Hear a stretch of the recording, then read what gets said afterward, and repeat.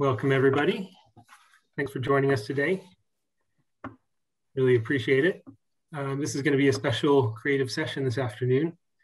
Um, I'm Joel Cable. I'm the sector manager for art and design and creative media for Pearson. And Pearson are proud sponsors of the Harlow Arts Trust Sculpture Town Artist in Residence program, or the STAIR program. And that offers uh, a one-year residency with Harlow Arts Trust to an outstanding graduate of the Royal College of Arts. So as part of Pearson's sponsorship of the program, we've arranged for this live event, which will also be available as a recording following the event, to allow Pearson teachers, tutors, and learners to engage with the current artist in residence, Romane Kordicher. Romane will not only be delivering this remote session, but later this year, she'll also be visiting Pearson centers in and around Harlow to provide learners with live workshops, dialogue, and inspiration just to let you know that throughout this session, we've kept your video and audio restricted um, so that your identity is, um, is going to be anonymized so that we can use the recording after the event. So I want to thank the Artistic Director of Harlow Arts Trust, Kate Harding, for organizing this session.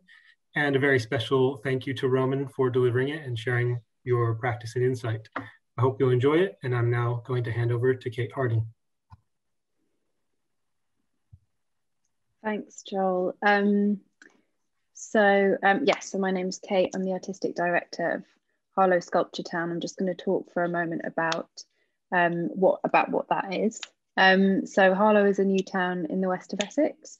Um, it has an exceptional collection of over 100 public artworks, um, including masterpieces by some of the greatest sculptors of the 20th century. And that includes uh, Barbara Hepworth, Henry Moore, uh, Rodin, um, and and others. So um, you can see one of those sculptures in the background. That's Barbara Hepworth. Um, so the collection was started in 1953 with the building of the new town itself.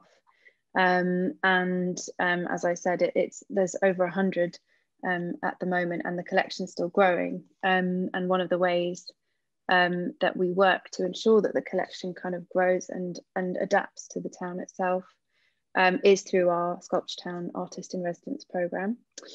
Um, and so, um, as I guess Joel um, explained, it's a it's a year long residency, um, and with generous sponsorship from Pearson, we're able to run uh, creative workshops in education settings.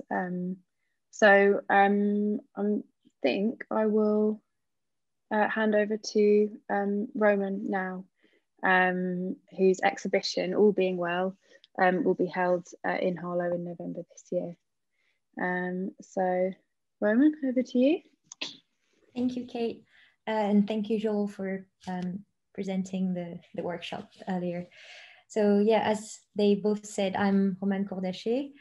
Uh, and I'm, I graduated last year from the Royal College of Art. And before starting the um, DIY mold making and plaster casting workshop, I thought it would be great to give you an insight on how I started doing um, these, uh, making these molds and um, growing my practice as a sculptor from scratch somehow. So um, I'll share the screen so you've got a bit of imagery and you can picture a bit more and just, okay. So um, uh. So my background is in textiles. So um, I started being interested in textiles, materials, and surfaces from an early age. And I thought, well, the most um, the most responsible thing would be to study design. And I went and studied textile design at uh, which is a school of fashion and textile design in Paris. But um, after two years of playing around with textiles, I realized that I was more into hard materials. So I focused on ceramics and on um, and on uh, concrete and plaster. And after three years, I realized that I was more interested in the way we experience materials, the way we experience a space and the way we experience exhibitions. So I went and studied for a year in information experience design at the Royal College of Art. And that's when I realized that I wasn't so much into design, but I was more interested in making sculptures, paintings, drawings, and other types of art. So I transferred in my second year in sculpture. Uh, and that's what I'm going to show you now is more how I developed that uh, plaster casting technique from my BA and I carried it on in my master's and how I'm still using it now. So um, these are the few experiments I did in ceramics that was just to illustrate. So I started making my molds um, not from silicone and not using pre-made sculptures in clay or any other type of material. I was just using packagings that I was finding um, around my house. So I was really into polystyrene mostly because I really liked the patterns and textures you could get from um, casting in that in it. So um, I started with that and also these foam boards. So I would pin everything together. I would tape things together, and then I'd used plaster filler, which is a really uh, fast drying type of plaster that you can use to um, fill holes uh, in walls. So that was what I had at home. I, I just didn't go for the sculpting one because I had one at hand in, in my home and it was easier and turns out also to be more practical in terms of drying times. So um, I developed, like you can see on the um, left uh, side of the screen, I, I developed a few blocks of concrete and plaster.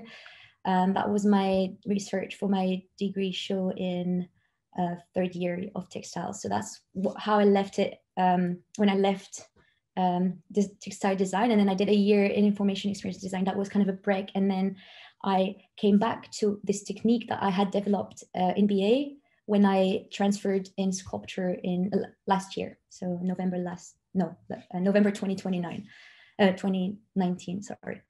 So yeah, that I came back to the technique and for having, having, having left it for a while on the side, I realized how it was actually a more interesting technique than I thought it was. So I I would make molds and I would obviously cast in the molds, but I would left I would leave some parts out of the mold, as you can see on the picture number two. You can see it's kind of um, free form. It's because it hasn't been cast on that part.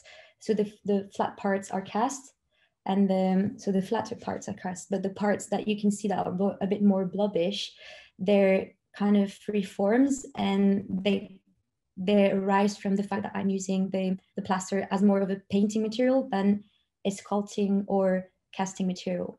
So I developed this a bit more um, last year. I mixed it with pigments. I played around a bit. And while I was playing with this material, I also was using the materials I was using to cast, polystyrene mostly, but also other packagings to make sculptures. So I was seeing polystyrene and other materials that you would discard usually as both my material and my mold making uh. So I would really embrace the material and I would I would give it as much credit and importance as it should be. It shouldn't be discarded and it should be the sculpture. And so um, this uh, the lost dimension is kind of the the hybrid between um, Schwellen that you just saw and this other sculpture. I brought together these two inspirations and I made uh, this bigger sculpture that has half of it that was made uh, from polystyrene I found. So I didn't shape any of these polystyrene arches. It was all found like this and I played around a bit, assembled them until I found exactly what I wanted to reach um, architecturally. And and then using polystyrenes that I also had collected at the same time, I I cast these bigger parts that are you're going to see here close-ups. So I cast these bigger parts using also polystyrene um, and also implementing other materials such as marble, foam, uh, still pigments, and paint um, as part of it. So yeah, um, that is kind of the merge, the mer um, yeah, I merged both uh, techniques, and that was the biggest sculpture I hadn't ever done before. Because um, before I was doing smaller works, um, and so I think I really am interested in materiality and the importance of materials, both that are more precious and luxurious, but also materials that would just lay in the street. And I see beauty in any kind of materiality with no judgment. And I even push this further um, through experimentation in uh, the digital world. So I will play now a tiny bit, a tiny extract of a film I made that is inspired by these collected materials from reality that I then implement into digital software to see how this translation impact um, on the materiality of these. I, I won't play much because we need time for the workshop. it's just to give an idea of how I translate things from a physical space to a digital space. And sometimes also what happens in the digital space will then come back in my physical works and my yeah my sculptures and installation. Um,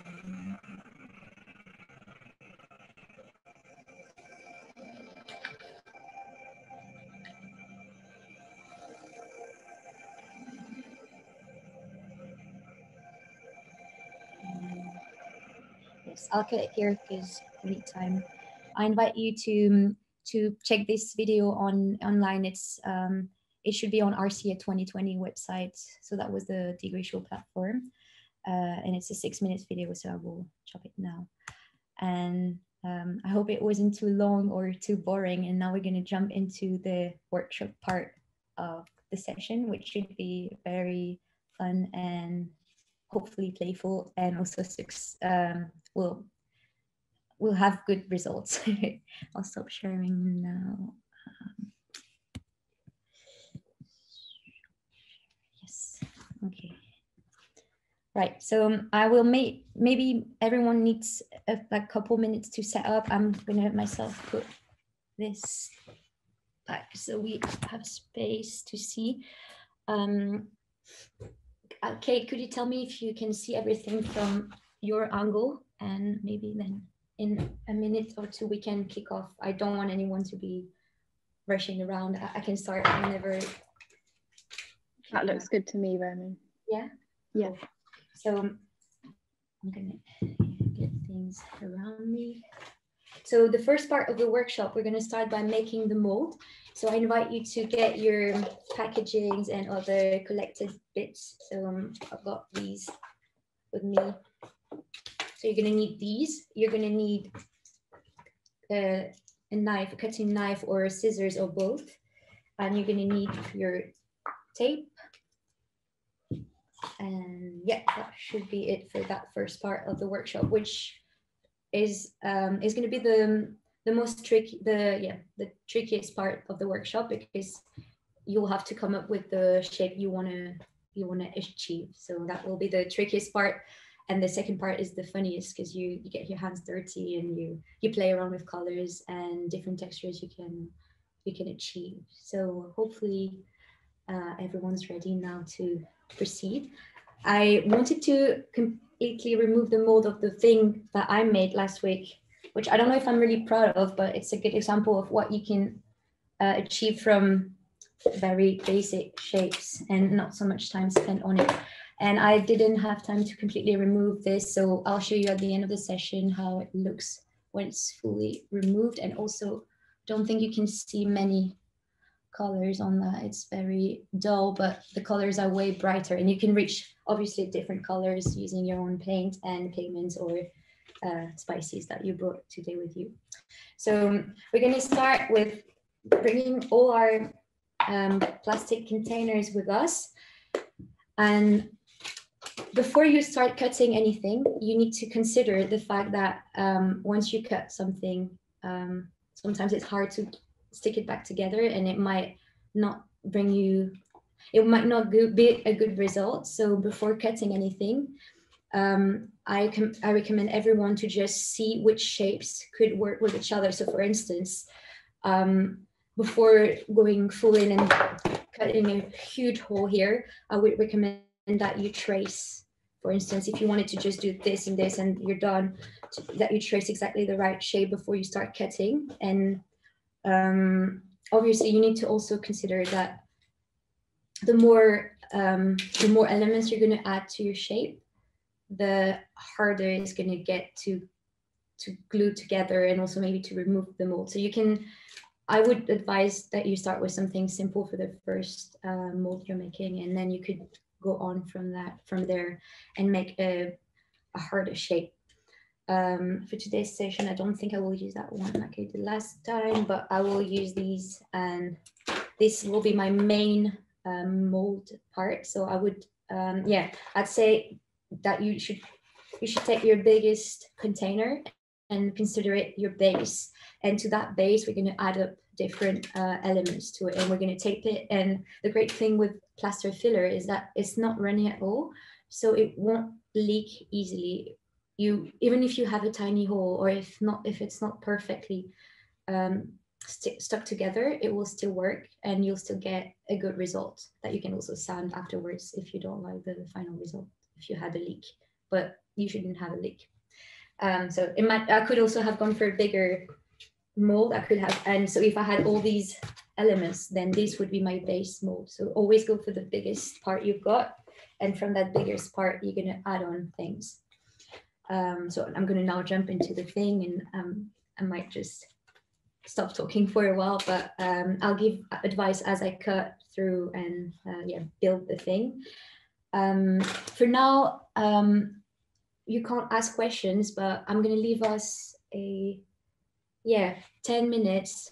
And in 10 minutes or 12 minutes, Kate will allow you to ask questions. So if you're struggling with something or uh, if you didn't understand something I said, because that that could that is likely to happen, then just yeah, don't do not hesitate to ask Kate. Um, okay, so I'm gonna try and talk while I do the thing, but sometimes I get a bit, um, I might say uh, things that don't make sense if I don't focus on this. Anyway.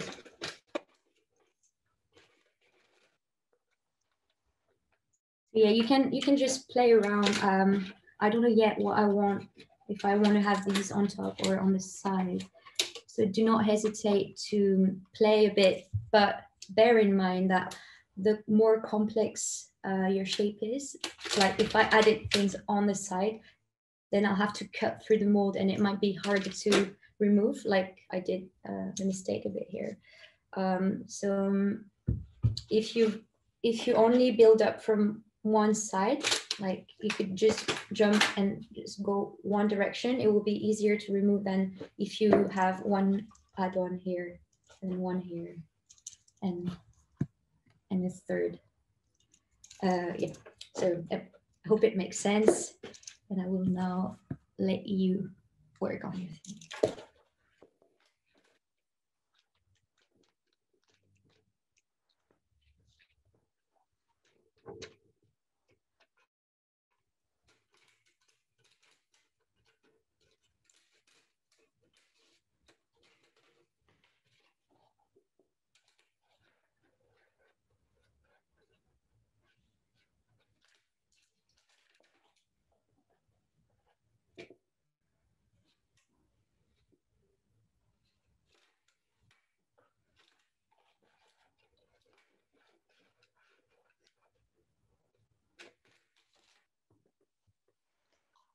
Um, it's a lot of playing around at first. Um, don't get frustrated if it looks a bit weird um, at the beginning because um, it will work anyways. And it's also nice. Um, I'll show you afterwards what you can add to the mold so you get some spillage. Like, okay, so you if you don't want everything to be straight lines and very contained like in here, uh, you could open a part so you could then pour layers and get something a bit more organic and a bit less control as well. So I'll show you that um, when we're done with the, the mold part.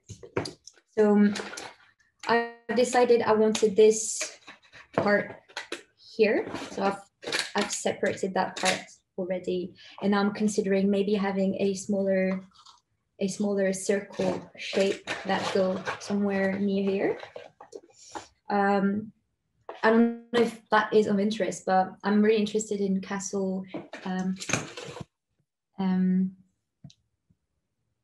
um, yeah ca castle shapes and manor shapes. So i want to i want to look into smaller more minimalistic versions of what would tower castles be like. So I'm going for that kind of thing, but I, I think it will be very abstract. Um, so I'm, I'm telling you what I'm doing, but you could be inspired by something else or by no particular shape at all. And you just want to play around with the technique first. It's really completely up to you. So I'm I'm cutting that part that I'm gonna have here. So once you're done with cutting all these and you roughly know where you're gonna position it, them, um, you're gonna grab a pen or um, I think I had said to bring a pen with you, it's easier. So you're gonna mark where you want them to be. So you're gonna come and trace where you're gonna them, have them sit on your main, on your base uh, shape. So you're gonna trace, but because you don't want this hole to be too big to fit this one in. So I, I don't know if you will see, but I've traced a square that fits here. Uh, obviously the square is on the other side of this part. And you, you don't want to cut on the other side. You, you want to cut slightly smaller, even if you need to then make it a bit bigger so it perfectly sits. But you, um, because if you open too much, then you won't be able to, to, to fill in completely with the tape. So I trace my first shape. I'm gonna take my knife, be careful because I just cut myself earlier today. So really be careful and never towards you. Really try and contain your just your movements when you do that.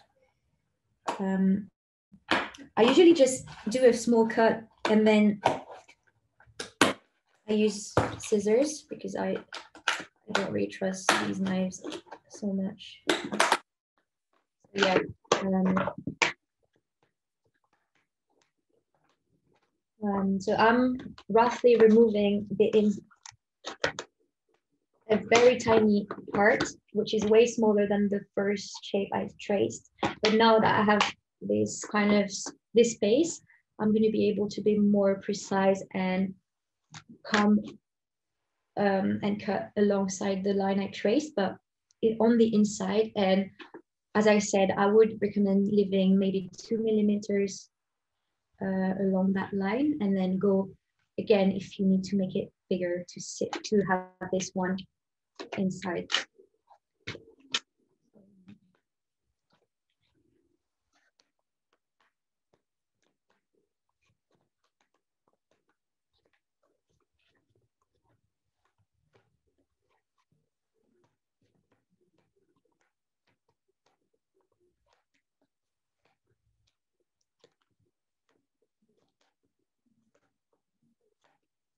Hope this, the noise is not too uh, disturbing on, on camera.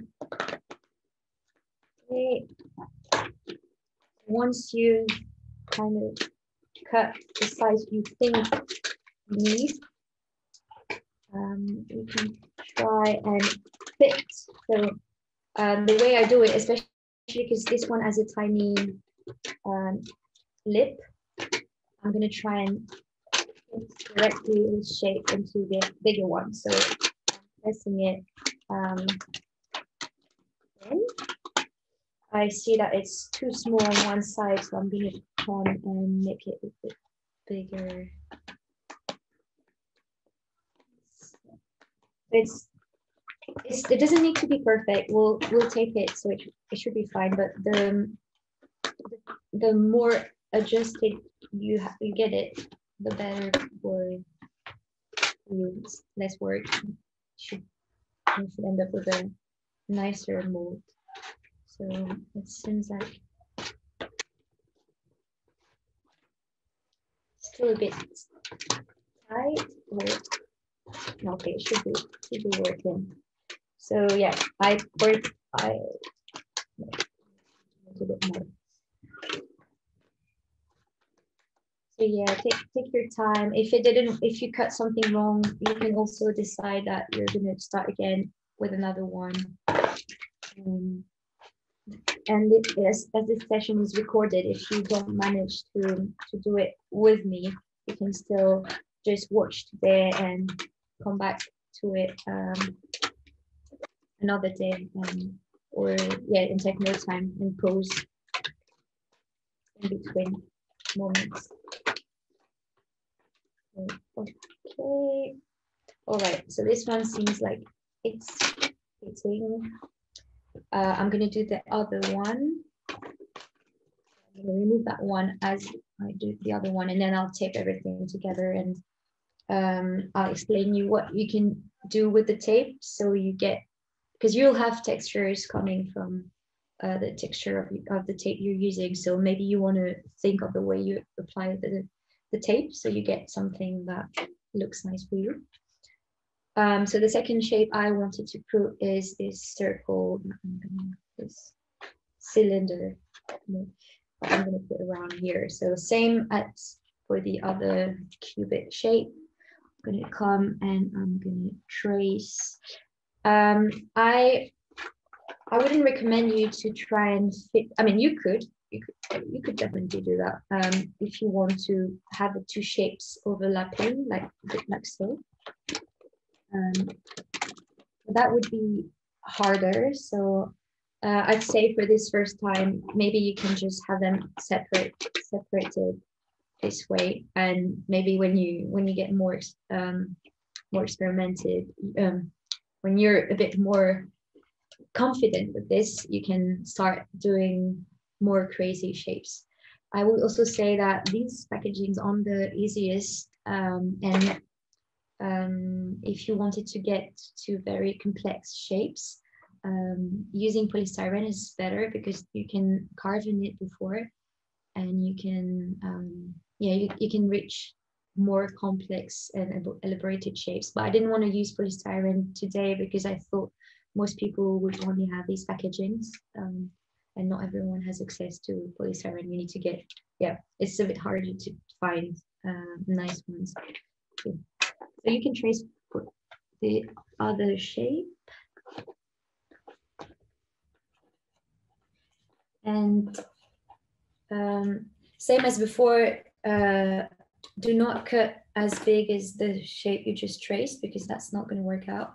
And especially because this is not a perfect cylinder and it goes, it's wider at the base, smaller at the top. So I'm going to start very small and I'll go as big as I need to, but slowly. So again, with the knife, trying not to cut yourself, just open a tiny window space um, in it.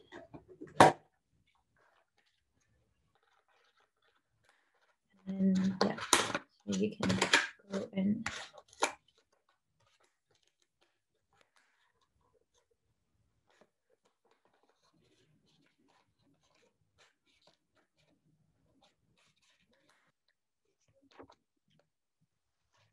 If you're cutting circles, this is this is hard for me as well. Um, it's not the easiest, but it's fine if your circle is not perfect.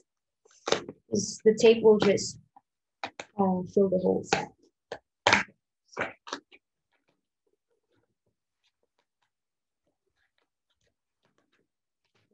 So first hole is way too small, so I can go bigger. But again, take your time. Um, no rush, no need to go so big that you can't go back afterwards.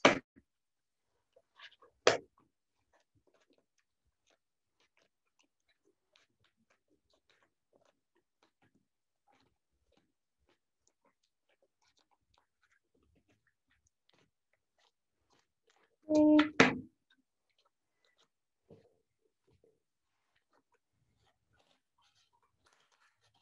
Right. So hopefully by now um, you all managed to at least cut one Okay, Okay, I'm not done yet. Um, yeah, I hope I'm not too slow nor too fast. Uh, and that you're all managing to follow up with my instructions and that you all see well as well. Um, okay. That should be fine. Okay, so it's as you might not see, but it's not perfect at all. You have holes here, here as well. It's really not perfect, but that's that's not a problem because now we're going to use the tape and make it work. So um, we're going to get any tape you've got. So it's either that type of tape or you might have just regular brown uh, duct tape. Um, either work. Um, they should be leak proof uh, anyways. So you're going to place your your shape, the shape you just, that you just cut. You're going to place it so it's almost at the edge, at, at the edge, like um, I don't know if it's the edge, but the, the edge of this part should line up with the face, the inner, the inner side of this. So you, you will try and push it until it reaches that. And without popping out, so that's the part. And we're now gonna get our tape.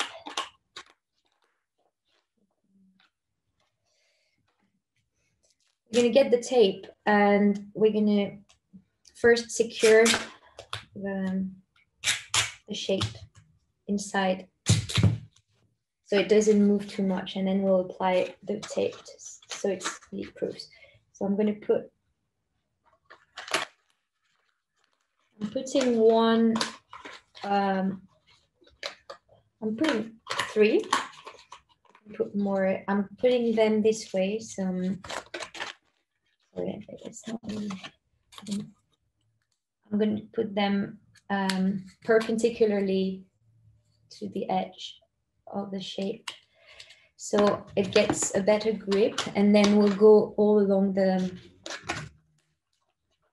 the circle. So we attach it that way.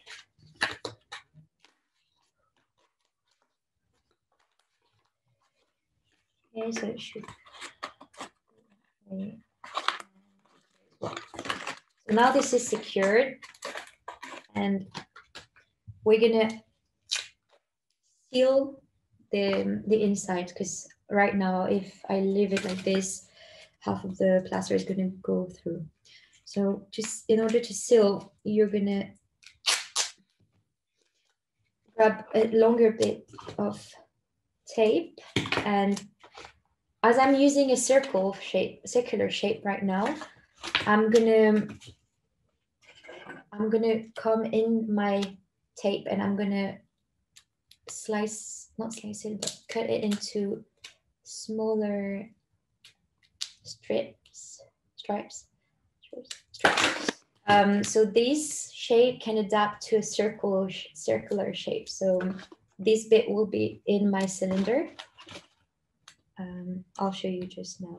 Um, just let me place. So that part goes in the cylindric part, part, and then here you just come and take this the strips I just cut. Main um, mold part. Um, so you do this, this. So this is looking very ugly, I know, but don't worry, it will will make it better. We'll, we'll put another layer of tape.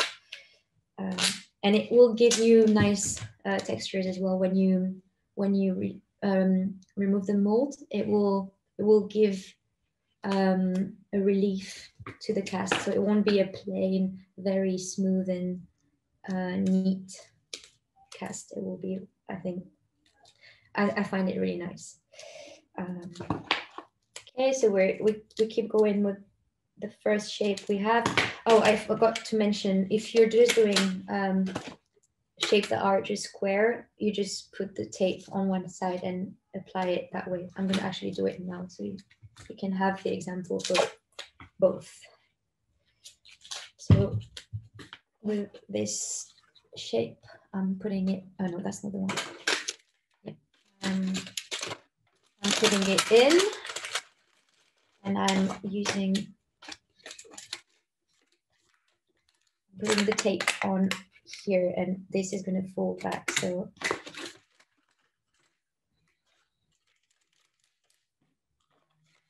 this um,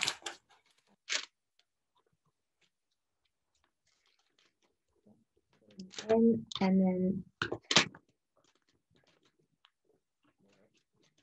taping, taping them. So this part comes here and I take it and I make sure it's well well stuck. So we go, we keep going with the other sides of our shapes. So we're doing the inside of the mold right now. And to make sure absolutely no plaster goes through, we'll then complete the, to seal the mold on the outside. Okay. Romane? Yeah. question for when you're ready. Yeah. Um, so somebody's asking um, if you had an object that you wanted to use as a mold but you didn't want to destroy, would that be possible or does the process always ruin the mold? Um, well, yeah, so I always destroy the mold, mold afterwards and I never, yeah, never take an object that I want to mold and cast. Because um, it's not possible to so keep it intact, is that right? It, it will be really hard to keep, yeah, keep things that way. And that's why I I always use packagings or polystyrene things mm. because I, I didn't I didn't have in mind a very specific shape, or if I did, I would make it with these materials uh, directly. Um, but I've never, um, I mean, I, I, I, don't use that technique of molding, making a very nice object and then molding and mm-hmm. casting it. Um, yeah. Oops. It's so satisfying to see it come together and fit nicely in the holes. yeah, it's it's really it's harder with these than with polystyrene. Um, I wish, yeah, I knew more about what people have in their home. Maybe polystyrene is a thing because they do give really really nice uh, cast in the end, and the texture you get from the different types of polystyrene are really great. Okay. Okay.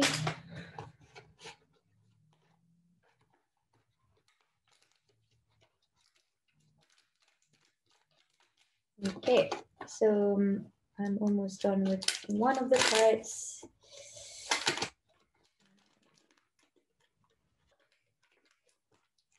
I hope it's fine for you as well, that it's not complicated or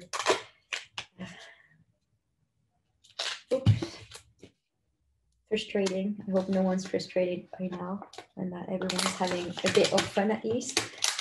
Um, okay.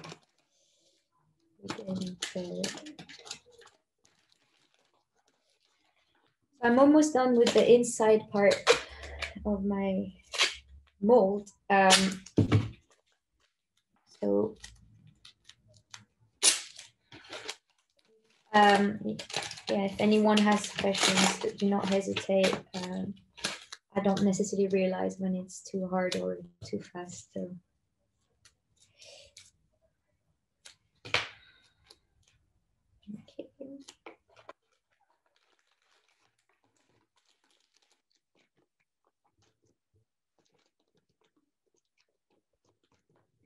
Okay. Yeah, you won't necessarily, um, one of the things that you might have noticed in my work and um, that I really appreciate is that I don't necessarily like very neat things and I like it when it looks a bit messy and um, I don't know what, uncanny. So I don't know if that would be a word that would fit my work, but um, I like it when it has a rough texture, a rough um, aesthetic. Um, and I think it goes as well with the fact that I like collecting things uh, in the street or from the trash because uh, I, I I think there's an aesthetic value in this.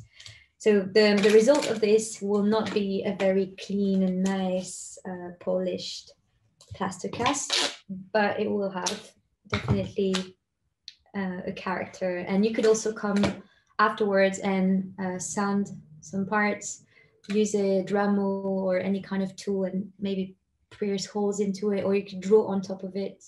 it's really up to you what you do next. Um, you can paint it, spray, spray paint it if you want one solid color, if you don't like the effect you get.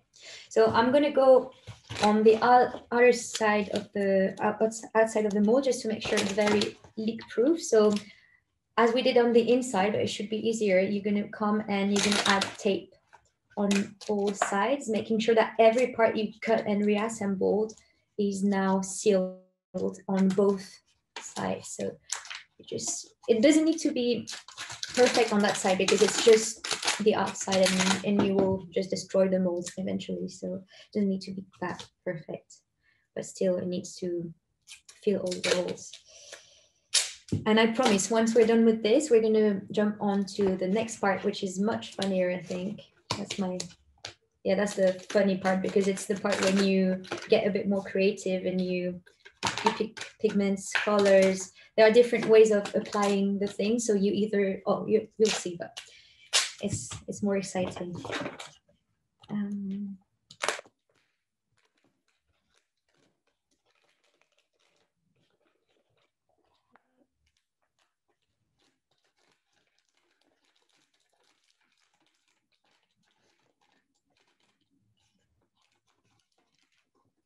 I've never used such a thin plastic. I hope it will work. Um, it should be working, but um, I usually use stronger one, so we'll see. Um, okay.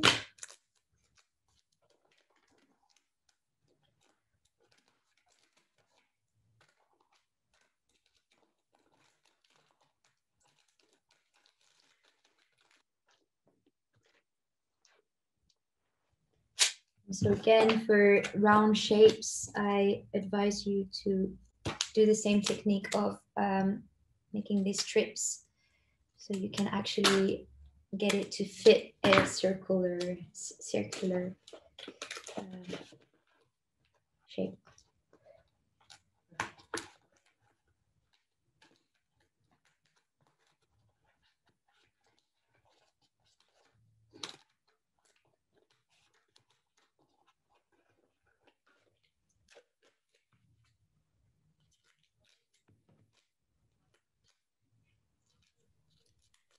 Romane, while you're working, I've, I've had another question in.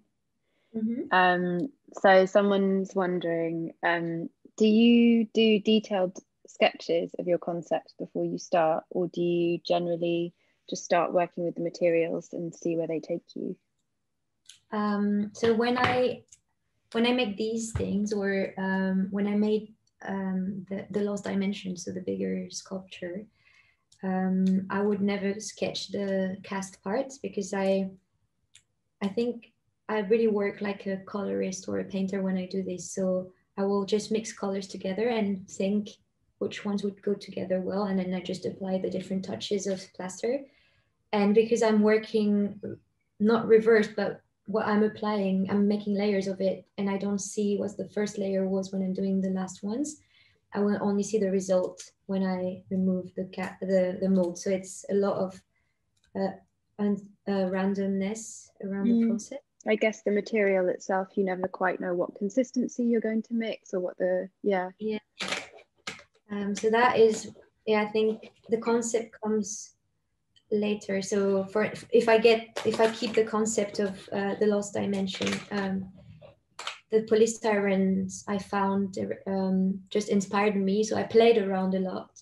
But then from that, I, I drew and took two pictures of the first kind of ideas I had before I fetched it. Uh, I uh, no, I like kind of crystallized it into the sculpture. So I always have this back and forth between uh, I make I make something, but it's temporary. Take a picture, we'll wait, I'll work on the more random part of making the cast. And then when I go back to it, I decide which, which what I think worked best. Yeah. But um, I work very differently when I work um, digitally. So I will work from existing elements, from sculptures I made, or from objects I have around me. And so it won't be sketches, but I will have a base, a basis to, from which I Mm-hmm. Uh, mm-hmm. I understand. Yeah. Um, yeah. And then uh, if I make a video, I will make very. I, will have a storyboard, but uh, only I can understand it because it's very bad sketches. It's mostly it's, maybe it has three words and a very raw thing that uh, it could be a tree or it could be a wind turbine or it could be the Eiffel Tower. Only I can tell. Well, I guess that's you're you're the person that matters as long as you can understand it. Well, that's why I'm not really a designer, I think, because I couldn't, I couldn't give instructions to someone else. I think there would be a, a lot of misunderstanding. Okay, um, I'm going to turn my camera off again and leave you to get on with the next section. Um, once we're done with um, that part, so the, the outside should be leak proof now. What you can do is consider the inside. So right now mine looks like this, and um, I think I'm going to keep it that way, but you might want to have only one type, one type of texture all over, which I sometimes did, like covering the whole mold with the tape. So I get a you hit a homogeneous um, surface. So if you want that, then I'll, I'll show you on one part. Um, you're gonna take tape. Uh, I, I think I didn't uh, didn't take enough, or maybe I did. Uh, and you're gonna apply it very cautiously so it goes on the edges. Okay, let's do that way. So yeah, um, just as if you were covering a whole room with tape or a whole yeah box. Uh, you you want to put the tape as without any wrinkles. So you're gonna make sure you're applying it very um, with a lot of finesse or um, just very polished. And then you cut on the edge. And so the next strip you're gonna put right next to the first one and you go on on all over them all over the mold. So that's the way you reach something very um yeah, that will have a very homogeneous texture all across the the cast. Okay, so I'm, I won't do it today because that will take too much time and also I'm not in that interested in this uh, homogeneity. Okay, so now you should have your mold ready. Uh, once you have that ready, um, I don't know if I should leave a few minutes or not minutes, but a minute or two for you to complete your mold. And I, uh, we're gonna jump into the second part, which hopefully is also the funniest for you and for me. Um, and for this part, uh, I think it's better if you get a mask and you, you're not forced to wear them. Sometimes they're great. Um, if you're wearing something that you care for, some kind of precious top, don't hesitate to put on something that you can get a bit dirty just in case. So I'll, I'll stain this one, for instance. Uh, so yeah, and again, if you have any questions, now is the moment to ask before I start the, the more um, hands-on part of the workshop and more dirty part of the workshop. Um, and so for that second part, we're gonna get our ingredients or ingredients, not materials. So we've got the plaster filler here. Mine is a bit pinkish, but sometimes it comes whiter and it will then affect the color at the end. And I'm going to use a few of these pigments I have with me. But you can also use, as I mentioned in the description, you can use spices and you can use paint or also use uh, acrylic paint. Uh, yes. All right. Uh, so you've got this, a bucket into which you're gonna mix the plaster filler. Um, and yeah. Um, oh yeah, and spoons if you need to to grab your pigments and put them in your mixture. So the first thing you're gonna do is you're gonna put on your mask because this is very dusty. I hope you can hear me even with the mask. Um, this is very dusty and not really good for your lungs. And so you're gonna grab your bucket and start off by pouring. So you're to need quite a bit to fill the whole um, the whole mold. So don't don't be scared to put put some yeah put some powder. I'm gonna put half of it. And don't don't worry too much about the colors you're gonna use. And if you think you're gonna use many colors and you need to do small pots, we're gonna start with one big and then we can just split into different uh, smaller containers so you can mix different colors.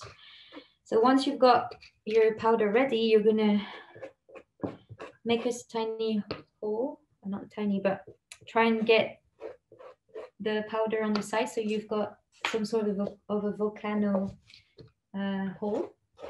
And you're gonna pour a bit of water, but do not overdo it with the water because this material is a paste. It's gonna be the, you're not gonna reach a very liquidy um, texture. You're going to reach something that's, yeah, like a paste. So you can really work with it. And it's really nice to apply because it's going to be almost like you're applying, um, like you're glazing a cake or something like that. So just pour a bit of water. Start with, um, I'm going to try and show you.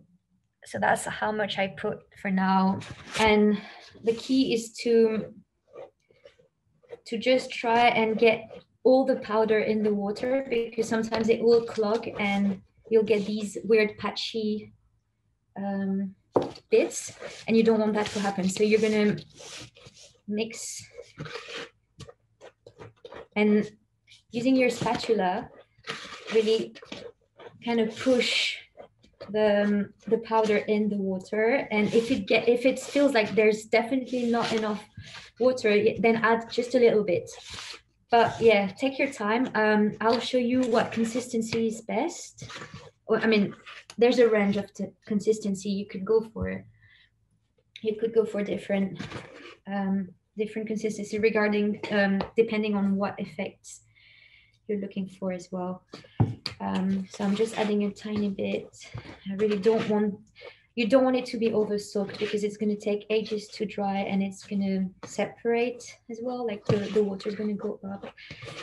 It's, yeah, it's really different from um, the actual mold uh, uh, casting plaster. That's, you usually have the water first and you put uh, plaster um, in a very specific way and you need a very very liquidy texture that will then dry quickly this is the complete opposite. You're starting with a powder and you're you're adding little by little a bit of water so. But you don't want okay i'm gonna try and wrap. You really don't want that kind of dry aspect to happen. So this is i don't know if you can see much but um, you you still want to be able to have a smooth texture. Um, it might just be you need very little water to add up. Okay, I'm getting close to the texture I want to show you. That's really nice.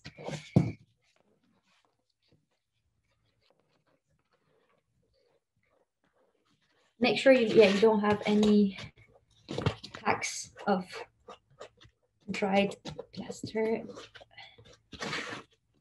And the result should look somewhere near this. Okay, it's not. I hope you can see enough. But this is the type of texture you want to go for, or a bit more liquidy. Um, so that's really nice because it's it's a bit gooey, but it's still, it can hold itself. And that's going to be really, it, it's going to give away a really nice, um, yeah, it's really nice to work with. Okay, so once you're done with it, I'm going to isolate a tiny bit of it because I'm going to, I'm to apply this in touches. So I don't want the whole, um, the whole cast to be the same color. So I'm going to start by taking off taking out this part in another bucket. Um, but you can do everything in one bucket as well. It's just the way you mix things um, that will change it. So um, I'm adding this and I'm going to start with paint. So um, there's one way of doing it. You just put paint, however much you need, and you adapt uh, depending on the color you want to reach. And so um, while you mix, I the way I mix is I don't go like a spoon. I oops, I just, I grab it that way. I come back on the lip of the lid and then I keep doing this until it mixes. And the reason I do that is because it usually works better than trying to mix it as, as if it was a spoon. And also I can get some nice um, kind of um, marble effects. I mean, not this time, but and this time I'm, I'm going for a block, a solid color with this pink I added, but you could get really nice. I'll show you with the pigments. It usually works best. Um, so yeah, you're mixing it, and when you're you like the color you reached, or well, I'm so sorry, the colors look really dull on the screen. But once you like the color, you're just gonna come and you're gonna apply it on whichever part of the mold you want this to be. Right now I can see that my plaster is not uh, liquid enough, so I'm gonna add more. So don't do not hesitate to mix more water if you feel like your mixture is too dry um, and that you can't work with it properly. So I made it way more liquidy now. Um, all you want to do is that is getting smooth. Um, yeah, you just want a really smooth, um, homogeneous paste. Okay, so, um, so that's that was one way. You're using the paint and you're and you're just adding it up in the mold. You can just use it also very raw if you like the color initially. So I'm going to put some, and I'm really random when I do it. Like I really don't look at, I mean, sometimes I think, oh, this color might be nice with this other color, but this time I just drip some. Okay, so another um, thing I do a lot is that, I'm going to show you in a minute. I get some of the color um, here separate it in a different pot. And I want to have, I want to color the paste, but I also want to have pigments um, bits as I put it on my mold. So you have two options. You can directly um, come and um, powder some pigments on in your mold. So it means that you're going to still, when you're going to pour the cast the plaster, it's going to come and stick on the pigment you just dropped. So I'm I'm doing I'm doing a bit of green and oops, a lot of green and um, Bordeaux. Uh, we can mix them up, but you can also do it. Uh, so I'm going to see what I just did now, but uh, so yeah, um, I just poured some pigments here and I'm adding up the plaster.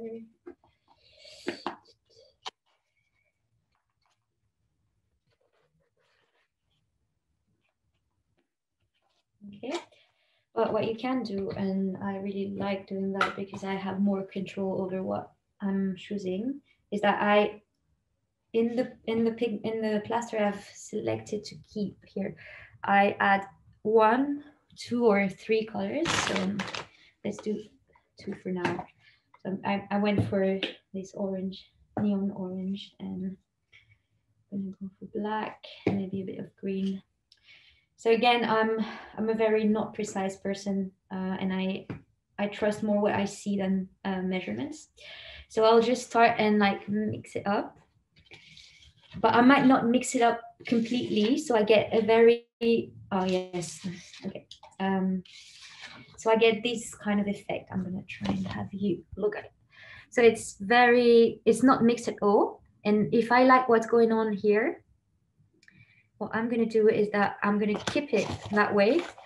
And I'm gonna just come and um, drop it where I want it to be. So, so I keep exactly that color and the way colors were placed. I keep it and I just apply it on my mold and I keep going. So I still have some here in my in my bucket. So I can just go on and add more green, for instance, if I want more green. So I go with the pigments that that remained and it will change, the color will evolve and it will get more and more mixed. And maybe by the end of it, I will just have one solid color that will be the mixture of the colors I used before.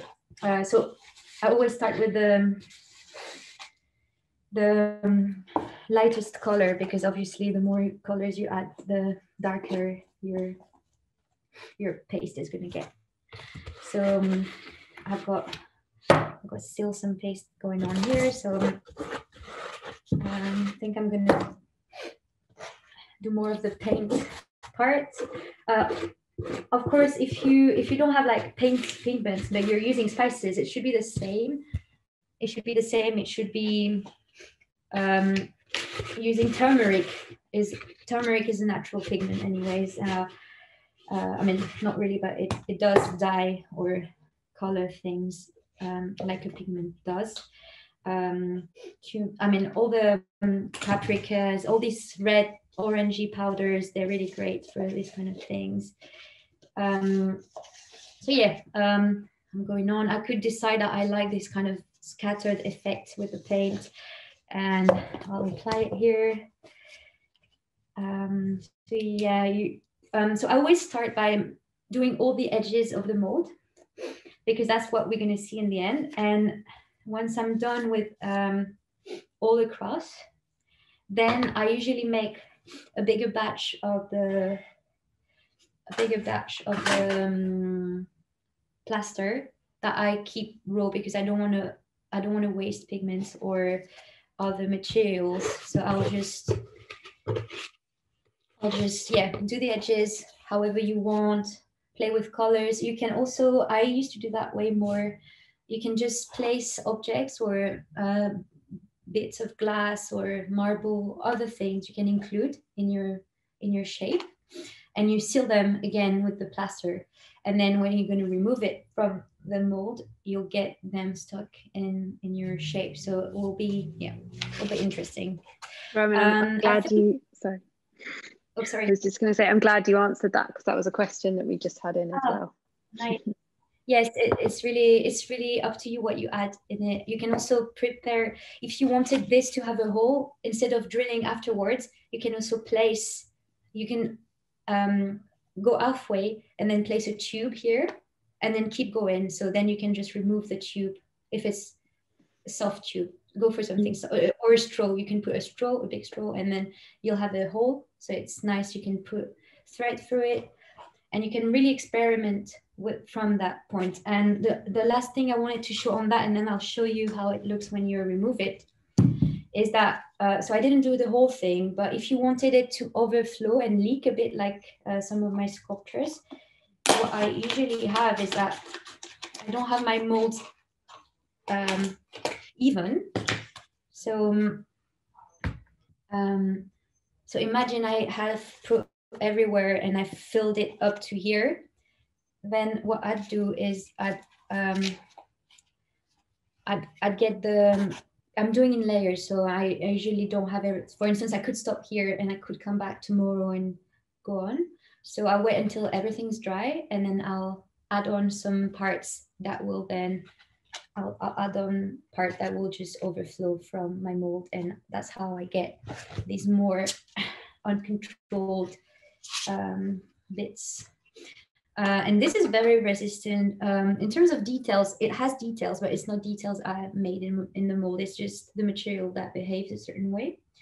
And uh, as for after kind of treatment you can do on the surface, uh, on here I've I've used uh, oil paint and then I scratched it, oil paint as well. And you can spray paint. Um, I believe you could varnish. Uh, it will just absorb so maybe not varnish, but you could uh, you can definitely have a play with different um, paints and um, different other ways of yeah um, agreementing um, yeah the the shape. Uh, one thing I was thinking of. Um,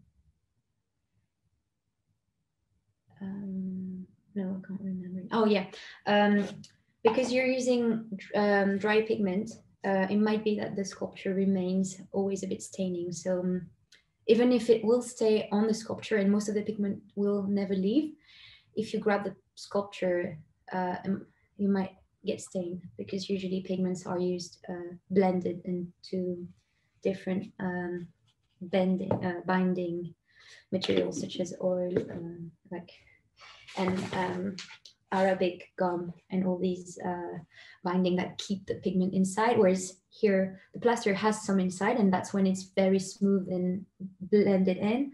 But all the pigment I put on the sides, uh, when I remove the mold, it will it will stain. So um, if I do this, I stain my finger a bit. So I'm going to try and remove this so you can see a bit more of what I'm like I made last week. Um, so you have an idea of what you can expect from yours. The, my example, oh, sorry.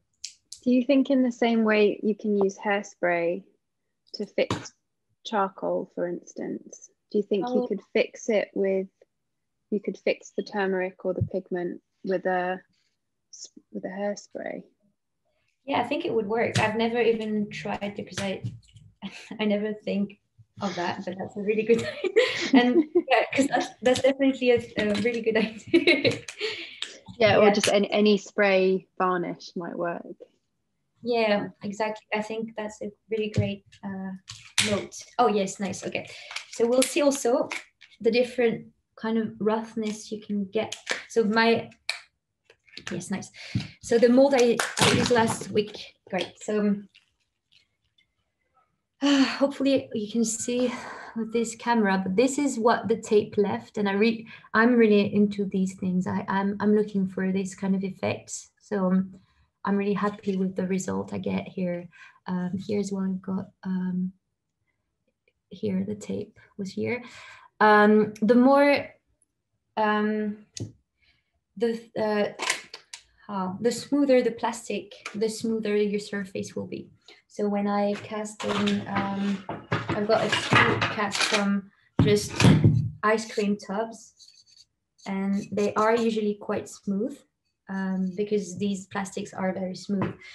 But then polystyrene is a bit rough. So it usually gets, um, yeah, it's a bit, it's a bit less it's a bit more granulous, let's say. And these aren't really nice. Um, I'm so sorry, I only have this one to show you today. But um, you get an idea of how it looks when finished. Also, the way the way you're gonna have it um, dry will impact um, will will will change the um, texture. So um, I still haven't figured out why, but uh, when it's really wet and it dries slowly, I get these white lines, the white outlines. It might just be the, the water coming up or for some reason. So um, I never control completely these and I also enjoy the fact that I will never see the result before it's actually completely dry.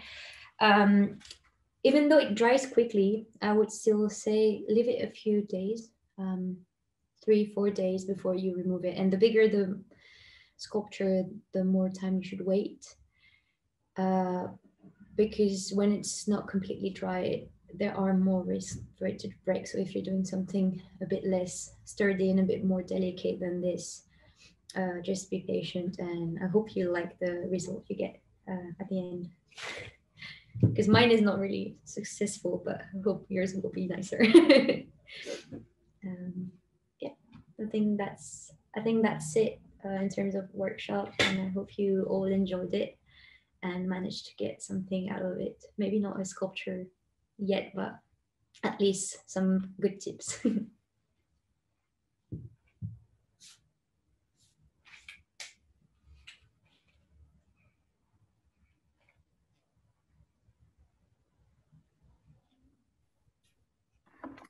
Thanks, thanks, Romane. Um, if anybody has any questions at this point, we'll we'll go ahead and take them.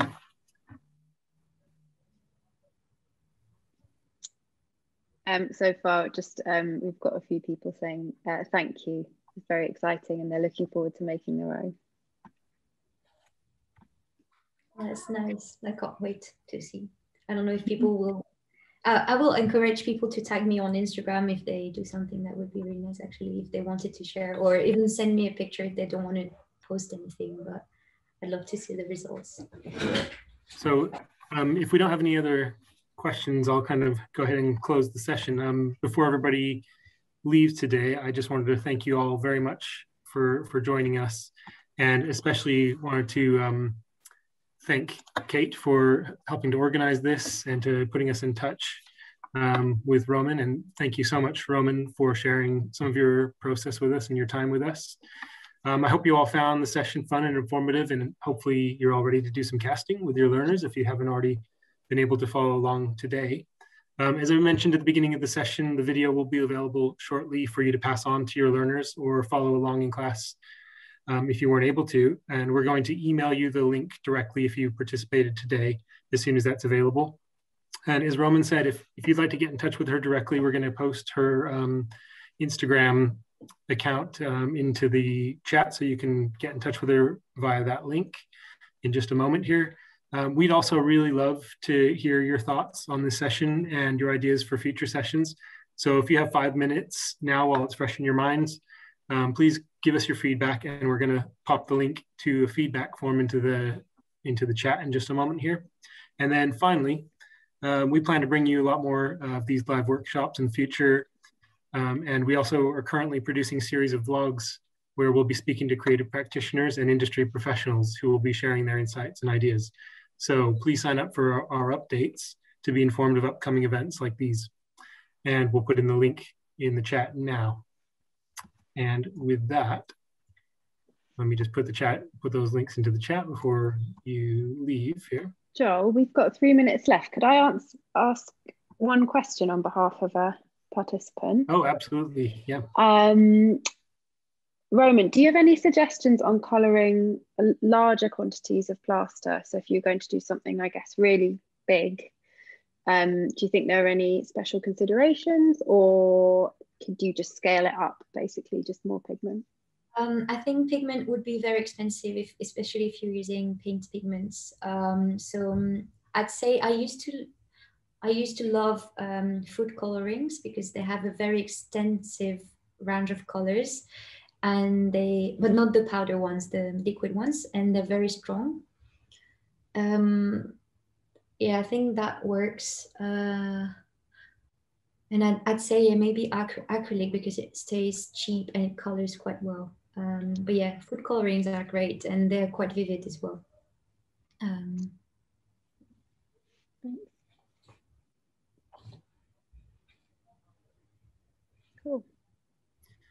There was there was one more question about um, how delicate you can you can make these um, molds. So if you wanted to do something that was a little bit more um, precise and you know had maybe some more kind of um, delicate elements to it, would they be likely to break when you tried to get the mold off or when you tried to pull it, remove the mold?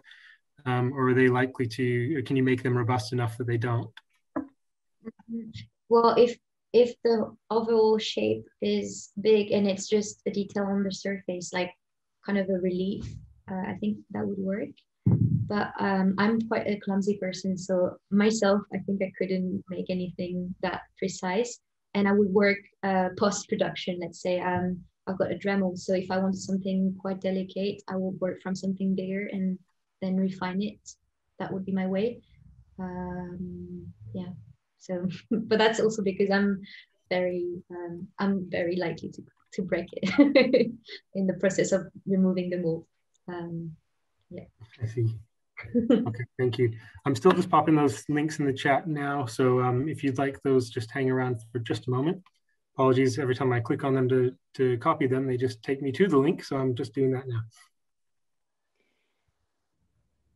Romane, do you have any, um, are there any artists in particular that work in with a similar technique that you, I don't know, that you mm. look at, that you draw an influence from?